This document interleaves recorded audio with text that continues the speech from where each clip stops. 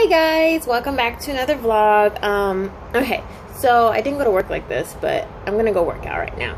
But I wanted to talk to you about how um, men, actually people in general, just need to let me know their intentions. I'm not a mind reader. Oh, because if I was, life would be so much simpler. But something happened this week, and it made me think like, why didn't you just tell me from the beginning what it is you want from me? Just be honest with your intentions. So at least when it comes to me, what you want out of me, what you need from me, what you plan to do with me, just let me know your intentions. Nothing pisses me off more than when someone builds you up just to get what they want and then boom, you're gone. Pisses me off. Now, guys often do this to girls. It's been done to me several occasions. I'm pissed off. So I was like, you know what? Don't call me. Don't text me. Don't do nothing. I need to just distance myself from you.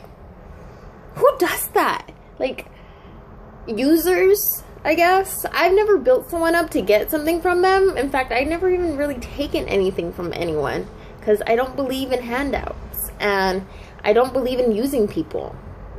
But this particular person built me up just to get what they want. And after they were done, they're like, well, guess what? You're not good enough. So I'm going to toss you aside. Now, I'm going to admit, I cried like a little biatch. But I was a little confused. Why do that? Why go through all that hassle? It makes no sense if you want something out of someone, be clear about it. Be honest about it. I can guarantee you things are going to go so much smoother if you're just honest with your intentions. That's pretty much my vlog today. Be honest with your intentions, people. The world is a better place when you are. That is all. Bye, guys.